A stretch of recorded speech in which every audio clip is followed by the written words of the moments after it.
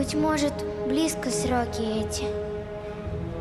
Не рев сирен, не посвист бомб, а тишину услышат дети в бомбоубежище глухом. И ночью, тихо, вереницы из-под развалин выходя, они сперва подставят лица под струю щедрого дождя. Точно в первый день творения горячим будет дождь ночной, и восклубятся испарения над взрытой корой земной. И будет ветер, ветер, ветер, как дух носиться над водой. Все перебиты. Только дети спаслись под выжженной землей.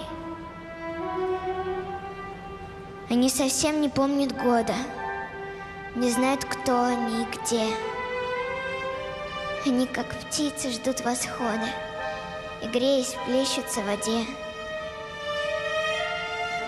А ночь тиха, тепло и сыро. Поток несет гряду костей. Вот так настанет детство мира и царство мудрое детей.